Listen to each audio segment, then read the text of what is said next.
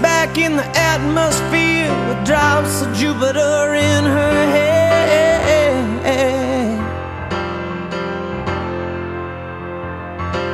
She acts like summer and walks like rain, reminds me that there's a time to change.